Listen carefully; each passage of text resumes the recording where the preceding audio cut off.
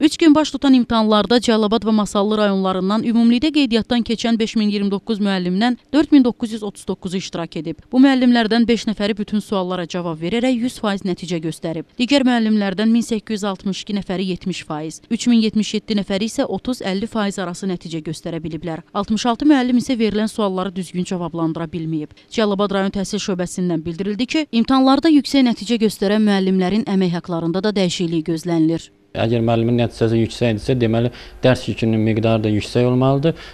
Dərs yükünün miqdarı yüksək olduqda əmək haqqı da təbii ki, yüksəlir.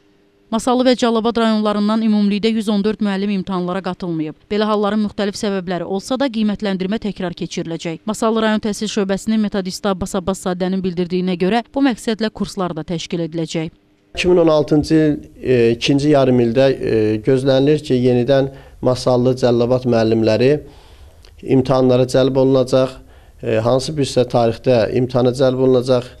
Faizi aşağı olan müəllimlər, e, imtahanda iştirak edə bilməyən müəllimlər e, burada gəlib iştirak edə biləcəklər.